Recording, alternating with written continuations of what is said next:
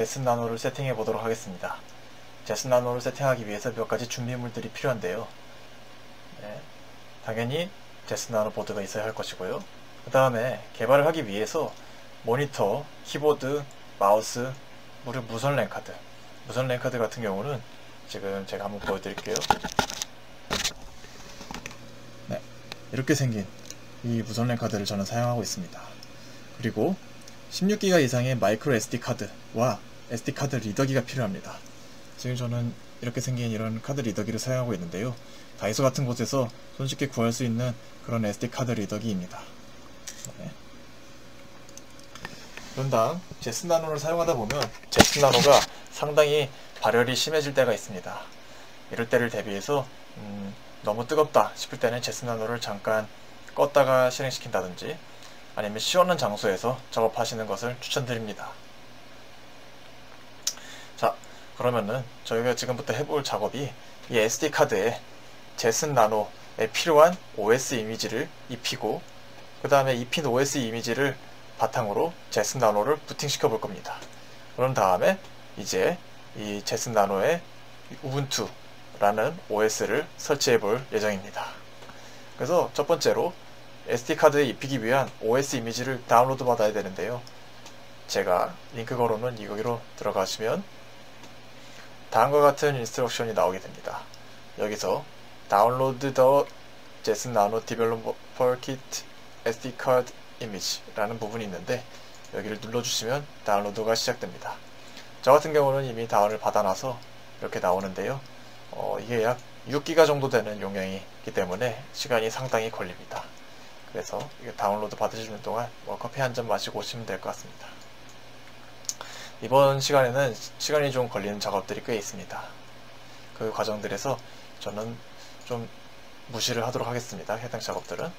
그 다음 이제 준비된 OS 이미지를 SD카드에 포팅 시켜줘야 됩니다. 자, porting 시키기 위해서는 어떤 입히는 프로그램이 필요해요. 사실 이 프로그램이 여러 가지 종류가 있습니다. Rufus라는 것도 있고 Win32 Disk Imager라는 프로그램도 있습니다. 기존에 Raspberry Pi나 ODROID 같은 single board 컴퓨터를 사용해 본 적이 있는 분이시라면 이런 것에 익숙하시겠지만 이번에는 그러는 거에 익숙하지 않으시다는 가정하에 차근차근 해보도록 하겠습니다. 그래서 이번에 저희가 사용해 볼 프로그램은 발레나 에처라는 프로그램을 사용할 예정입니다. 마찬가지로 제가 걸어놓은 링크를 통해서 다운로드 받아주시면 될 것 같습니다. 다운로드 받은 후에 이제 설치가 완료되면은 다음과 같은 화면을 보실 수 있습니다. 네. 여기서 네. 이제 준비된 OS 이미지를 SD카드에 플래시 해주셔야 되는데요. 우선 제가 SD카드가 꼽힌 카드 리더기를 이제 컴퓨터에 꽂아보도록 하겠습니다.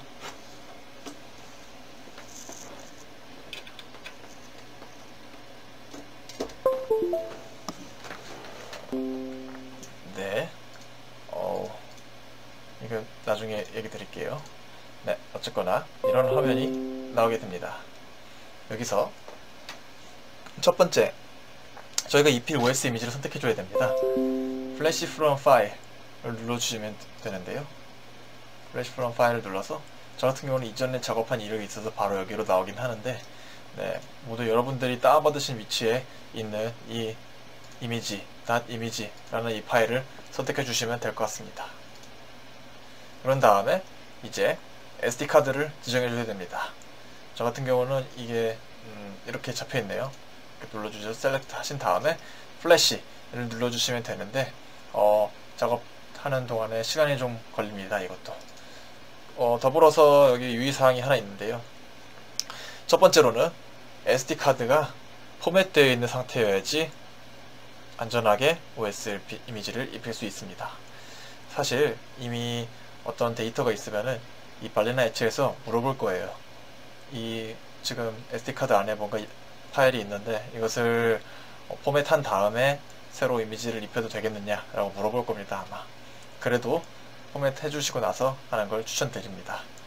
더불어 제가 아까 오, 이 어, SD카드를 꼽았을 때 엄청나게 많이 뭐가 창이 떴어요. 이 드라이브가 엄청나게 많이 잡히면서 네, 이걸 포맷하시겠습니까? 라고 뜨는데 아마 이 이미지를 입히는 작업이 거의 완료됐을 때 똑같이 이런 현상이 일어날 겁니다.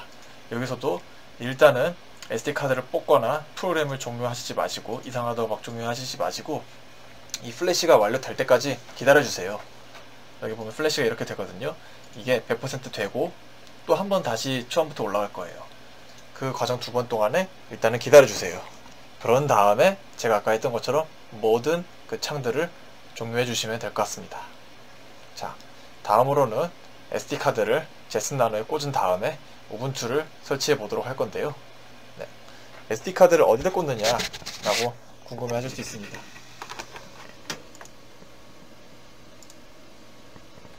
SD카드는 제슨 나노를 보시면 이렇게 제슨 나노가 있을 때 제슨 나노의 뒤쪽에 이렇게 SD카드를 꽂는 위치가 있어요. 여기에 SD카드를 꽂아주시면 똑딱 하면서 약간 클립처럼 들어가는 느낌이 나실 텐데요. 그렇게 되면 SD카드가 삽입이 완료된 거라고 보시면 될 것 같습니다. 그런 다음에 이제 전원을 인가시켜주면 되는데요. 여기서도 유의사항이 하나 있습니다. 여기서 제슨 나노를 키실 때 HDMI를 먼저 꽂은 다음에 파워선을 연결해 주세요.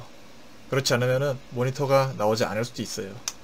그래서 모니터가 나오지 않네 라고 이상하실 때는 내가 혹시 HDMI를 먼저 꽂고 파워선을 꽂지 않았나? 먼저 파워선 먼저 꽂았나? 라고 생각해 보시면 될 것 같습니다.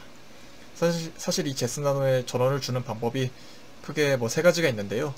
첫 번째로는 이 진짜 어 5와트 몇 와트인지 지금 기억이 안 나는데 네, 이 파워선을 통해서 줄 수가 있고 두 번째로는 5핀 마이크로 케이블을 통해서 줄 수도 있습니다. 그런 다음 세 번째로 GPIO 핀을 통해서 직접 줄 수도 있어요. 하지만 제일 안전하고 제일 퍼포먼스를 좋게 할 수 있는 방법이 이 파워선을 통해서 전원을 공급하는 것이기 때문에 지금은 이렇게 연결을 해보겠습니다. 자, 그런 다음 네, 지금 보시면은 불이 들어와 있죠. 네, 제가 이미 준비를 미리 해놨습니다. 그래서 처음에 부팅했을 때 제가 지금 똑같이 여러분하고 해보려고 새로 처음부터 해보려고 하고자 합니다. 이런 화면이 보일 겁니다. 지금부터 화면을 한번 키워서 해볼게요.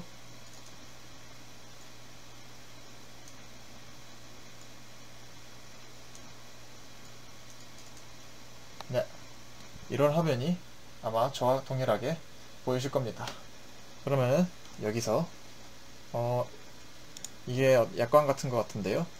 어셋 해주신 다음에 continue 해주시고 여기서 언어를 선택할 수 있습니다. 사실 한국어를 선택하셔도 되긴 하는데요. 어, 저는 그래도 웬만하면 나중에 여러가지 생, 문제가 생길 수 있어요. 저는 영어로 하시는 걸 추천드립니다. 뭐 영어 공부도 하실 겸 네, continue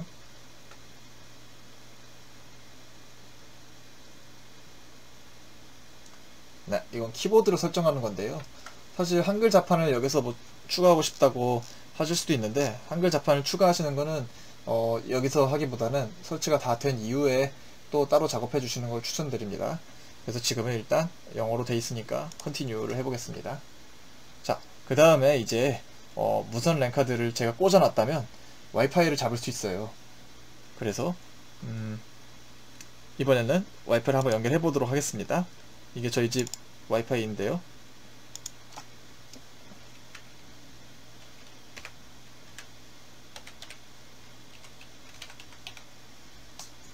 연결을 해볼게요.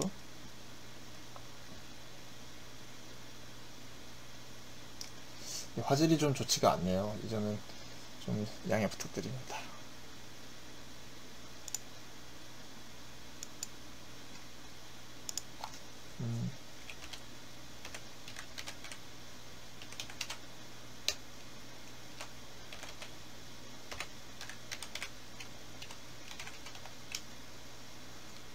다시 한번 시도해 보겠습니다. 아까 뭔가 문제가 있었나봐요.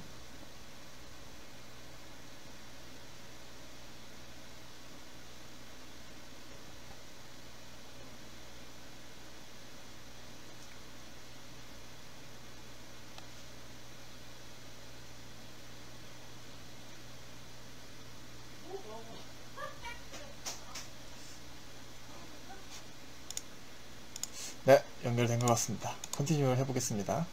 자, 그 다음에 이제 region을 선택해 줘야 돼요, 지역을. 어, 그래서 기본이 뉴욕으로 되어 있는데 그래도 이 region은 서울로 해보겠습니다. 자, 이제 이름을 지어줘야 됩니다. 이름과 유- 이 username 그리고 패스워드 패스워드 한 번 더를 입력해 주셔야 돼요. 그래서 웬만하면 저는 log in automatically를 선택하시는 걸 추천드립니다. 이게 뭐냐면 들어서 화면 보호기처럼 어 그 오랫동안 사용하지 않았 상태로 해서 다시 한번 접속했을 때 자동으로 비밀번호를 물어볼지 이런 거에 대한 설정이거든요. 그래서 계속 비밀번호를 입력해야 되면 좀 짜증나기도 하고 불편하니까 이번에는 네, 자동 오토매티클리 로그인을 하도록 하겠습니다. 그래서 자 이번에는 뭐 이름을 네 어, 뭐, 제슨으로 해보겠습니다. 제슨 데스크탑으로 자동으로 뜨죠. 그리고 패스워드도 저는, 어, 제슨으로 해보겠습니다. 제슨. 그리고 다시 한번 제슨이라고 입력해 줄게요. 자, 비밀번호가 두 개 같아서 네, 승인된 것이 보입니다. 음,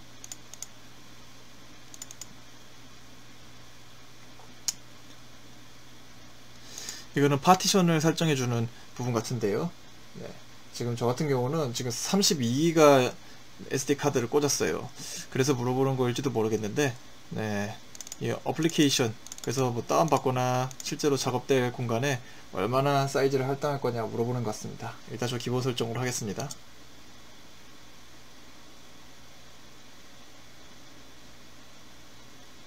그러면 다음과 같이 installing이 시작될 겁니다. 우선은 제가 여기서 한번 끊고 다시 이 작업이 모두 완료된 다음에 여러분께 다시 화면을 보여드리도록 하겠습니다. 네, 설치가 완료되었습니다. 설치가 완료된 다음에는 다시 한번 재부팅을 하게 됩니다. 그 다음에는 다음과 같은 화면이 나오는데요. 자, 지금 보시면은 기본적으로 설치되어 있는 이런 크로니움, 네, 크롬 같은 거죠. 사실 좀 다르긴 한데, 네, 뭐 크롬하고 비- 똑같다고 보셔도 될 것 같습니다. 그런 다음, 네, 여러 가지 제슨에서 기본적으로 제공해주는 이런 어, 아이콘들이 보이는 것을 알 수 있습니다. 그런 다음에 인터넷을 들어가고 싶으시면 오른쪽 위에 다음과 같은 창이 있어요. 네, 인터넷 접속을 희망하시면 여기에 있는 이 와이파이 모양의 아이콘을 눌러주신 다음에 예를 들어서 저 같은 경우는 처음에 이 우분투를 설치하면서 네트워크 설정을 해줬죠.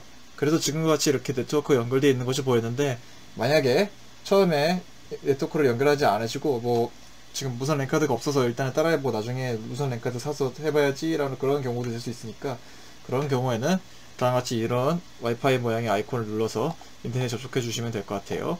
그런 다음에 뭐 다 작업을 완료하고 일단 끄고 싶다.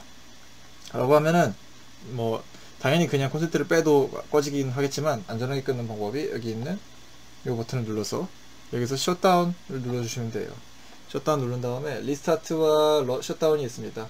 여기서 뭐 shut down을 하시면 네, 꺼지고 restart를 하면 재시작이 되겠죠. 그 다음에 저희가 처음에 이름을 설정해 줬는데요. 뭐 Jetson이라고 설정해 줬죠. 그 부분이 여기에 들어가게 돼요. 여기에 Jetson이라고 네, 쓰여 있는 게 보이시죠? 네, 지금 제 사용자 이름을 Jetson으로 해놓고 지금 아까 비밀번호도 Jetson으로 했어요. 그래서 뭐 나중에 sudo 권한을 요청한다거나 했을 때 Jetson이라는 비밀번호를 입력해줘야 될 겁니다. 예, 네, 여기까지 이제 설치된 모- 모습을 보여드렸고요. 사실 어, 이 우분투 리눅스가 어, 처음이 처음 경험해 보시는 분들이 있기 때문에 제가 간단한 이런 리눅스 명령어들을 소개를 한번 시켜드리는 시간을 가지려고 합니다. 그래서 잠깐 제가 다시 제 데스크탑으로 옮겨서 그런 강의를 한번 진행해 보도록 하겠습니다. 리눅스로 돌아왔는데요. 네. 리눅스 명령어에 대해서 살짝 짚고 넘어가 보자 돌아왔습니다. 자, 리눅스가 처음이신 분들은 이 영상을 한번 봐주시고 그렇지 않고 나는 이 리눅스를 써봤다 Raspberry Pi 써봤고 어, 나중에 우분투 잘 쓰고 있다 하시면 넘어가셔도 좋습니다. 네. 거의 리눅스에서 음, 이런 클릭, 뭐 폴더로 들어가고 싶을 때도 물론 윈도우처럼 여기 클릭으로 들어가서 하는 경우도 많지만요. 그래도 터미널에서 작업되는 그런 어, 작업들이 많습니다. 그래서 터미널을 열고 싶으면 어떻게 해야 되느냐? 네, 이 터미널은 마치 윈도우에서 저희가 전에 시뮬레이션 설치할 때 CMD나 PowerShell 같은 터미널 열어줬었죠. 그런 거 비슷하다고 생각하시면 될 것 같아요. 자, 터미널 열고 싶으면은 컨트롤 Alt T 세 개를 동시에 눌러주시면 됩니다. 컨트롤 누르고 Alt 누르고 T. 자, 그러면 지금 저는 사실 네, 살짝 이거 투명한 터미널이 나왔죠. 제가 살짝 설정을 바꿔놓은 거예요. 그리고 터미널 끄고 싶으면 컨트롤 Shift W 누르면 됩니다. 컨트롤 Shift W. 네. 이 컨트롤 Alt T는 네, 어떤 우- 우분투에서건 똑같이 적용되는 그런 단축키예요. 네, 그리고 여기서 첫 번째 현재 나의 위치, 나의 위치라 했으면은 뭐 예를 들어서 지금 제가 이 그 파일을 들어가서 뭐 내 컴퓨터 같은 데에서 제가 뭐 데스크탑 바탕화면에 Road Balance라는 곳에 뭐 Spot Micro Jetson 이라는 데 들어왔을 때 나의 현재 위치는 home의 Desktop의 Road Balance의 Spot Micro Jetson 이런 식으로 현재 자기의 위치를 알고 싶을 때 이때 사용하는 명령어가 있습니다. 바로 pwd라는 건데요. pwd 지금은 제가 이 사용자 이름이 제가 지금 swimming이에요. 그래서 home에 swimming에 들어가 있는 것을 알 수 있습니다. 다른 곳으로 한번 이동해 볼게요. 그러면 음, 지금 제가 하는 작업은 사실 지금 이렇게 데스크탑을 클- 더블 클릭해서 누르고 하는 이 작업하고 동일한 과정이라고 보셔도 될 것 같아요. 대신에 command line에서 된다는 것만 좀 다른 점이라고 보시면 될 것 같아요. 나중에 뭐 윈- 리눅스 서버를 이용한다거나 아니면은 embedded 리눅스에서 작업하거나 하실 때는 이런 GUI 프로그램들이 없어서 네, 이런 식으로 주로 command line에서 이루어지게 돼서 익혀두시는 것도 좋은 방법이라고 생각합니다. 자, 그러면은 어딘가로 돌아가고 싶어요. 지금 제가 이 상황에서 들어, 어딘가에 들어가고 싶은데 들어갈 수 있는 곳들이 한번 탐색을 해보고 싶어요. 예를 들면 지금 제가 오 이만큼의 폴더들이 있구나 라고 GUI에서는 바로 보이죠. 근데 이렇게 지금 어떤 리스트들이 있는지 보고 싶다 했을 때 리스트 줄여서 LS를 쳐주시면 아 지금 제 위치에서는 들어갈 수 있는 곳들이 이렇게 이렇게 있구나 라는 것이 보입니다. 보시면 그리고 폴더들은 파란색으로 보이는 것이 보이고 이 그 민트색으로 보이는 거는 아마 뭔가 권한이 달라서 그럴 거예요. 그러고 나서 어, 폴더가 아니라 어떤 파일, 같, 파일 같은 경우에는 이렇게 흰색 글씨로 나와 있는 이런 색깔 차이로 구분된다는 것을 볼 수가 있습니다. 그래서 예를 들어서 어, 딘가로 들어가고 싶었어요. 제가 Desktop에 들어가고 싶다고 가정해 봅시다. 그러면은 Desktop에 들어가고 싶으면 cd Desktop. 이라고 쳐줘도 되지만 이거를 cd 지금 des까지만 쳐줘도 탭을 누르면 자동으로 완성됩니다. 탭. 기억하세요. 탭을 누르면 자동으로 완성됩니다. 근데 만약에 지금 제가 d 이렇게 안 하고 do까지 했어요. DO까지 했으면 지금 Document와 Download가 똑같이 do로 시작하죠. 그래서 이 둘 중에 뭘 해야 될지 선택하라고 이런 식으로 네, 알려주게 됩니다. 그래서 만약에 아, Documents다. 그럼 DOC까지 치면 이제 Documents밖에 없겠죠. 그러면 Documents를 완성시켜주는 그런 로직이라고 생각하시면 될 것 같아요. 아까처럼 Desktop으로 들어보겠습니다. 그리고 제가 아까 이 점점 슬래시 이거는 뭐냐면요. 지금 현재 위치는 점 슬래시라고 얘기할 수 있어요. 현재 위치는 점 슬래시. 그러면서 점을 하나 더 붙이면은 한 폴더 위가 됩니다. 어 그러면 점 하나 더 붙여서 이렇게 하면은 두 폴더 위로 가나요?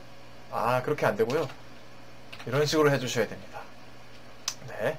그래서 어딘가 경로로 들어가고 싶을 때는 CD를 통해서 들어간다는 점 이해하시면 될 것 같습니다.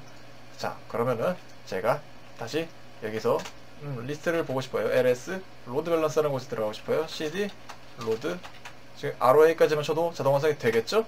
들어가고 다시 ls 리스트를 보고 어딘가로 또 들어가고 cd 뭐 우리가 클론했던 GitHub repository 여기로 들어가고 그런 다음에 여기서 어, 내 지금 위치가 어디지 알고 싶으면 다시 한번 첫 번째 했던 pwd를 통해서 들어가 주면 됩니다. 자 이렇게 하실 수도 있는데요. 만약에 제가 어, 다시 새로운 터미널을 틀었어요. 예를 들어서 다시 새로운 터미널을 틀었는데 여기서 또 이 위치까지 가고 싶을 때 또 여기서 뭐 CD 뭐로 들어가고 또 CD 뭐로 들어가고 CD 뭐로 들어가고 하면 되게 귀찮겠죠? 그런 경우에 지금 PWD를 해서 이 경로 이렇게 제일 상단에서부터 홈에 스위밍에 데스크탑에 로드 밸런스에 마이크로 Spot Micro Jetson까지 이 전체 어, 루트 제일 상단에 있는 디렉토리부터 현재 디렉토리, 디렉토리까지의 그 경로가 다 들어있는 이 절대 경로라고 하거든요. 이거를 알고 있으면은 어, 다시 터미널을 키더라도 손쉽게 이 위치로 갈 수가 있어요. 제가 터미널을 다시 하나 켰습니다. 여기서 cd 이 디렉토리로 가겠는데 어디로 가냐면 절대 경로를 입력해 줍니다. 어, cd 자, 이 위치로 가면 네, 지금 바로 이 위치로 간 것이 보이죠? 어, 여기서 해보겠습니다. cd 이 위치로 네, 바로 이 위치로 간 것이 보이죠? 이런 식으로 사용할 수가 있습니다. 손쉽게. 네.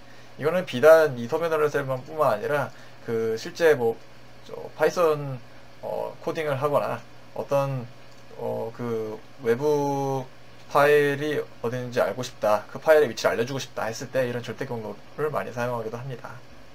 네.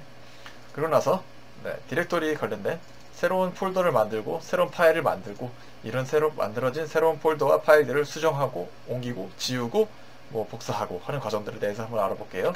자, 저희가 한번 이번에는 돌아가서 이것도 까볼게요.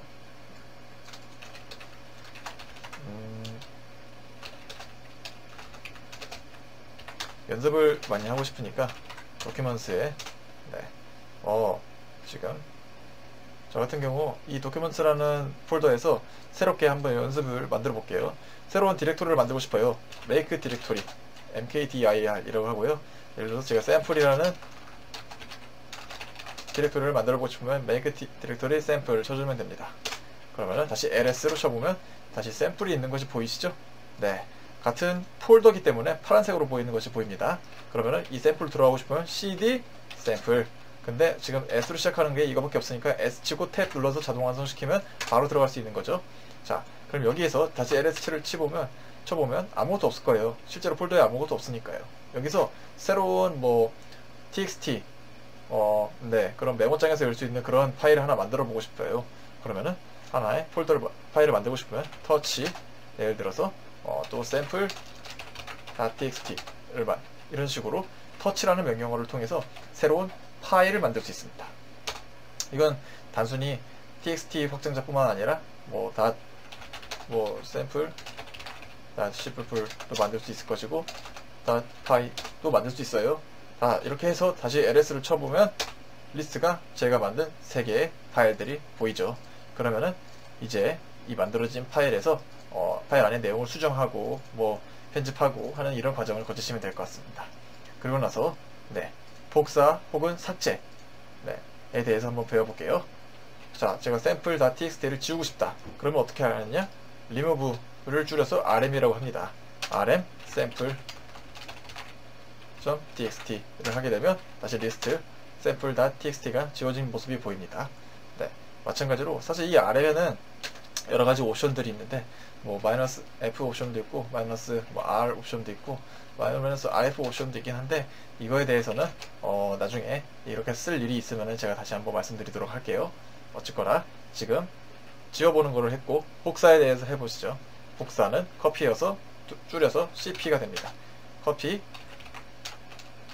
샘플 단 파일을 어 지금 안에 아무것도 내용이 없긴 하지만 이 안에 있는 내용을 제가 뭐 샘플 2 python으로 바꾸고 싶었어요. 복사 붙여넣기 하고 싶었어요. 이런 식으로 해주면 다시 리스트를 보면 네 sample2.python 뭐 sample2.py 그리고 sample.py 두 개가 있는 것이 보이시죠? 아마 여기 들어가 보면 지금 아무것도 없지만 똑같은 내용이 복사됐을 거예요. 네. 이렇게 해서 네, 커피와 리무브를 알아봤는데요. 다음 move가 있습니다.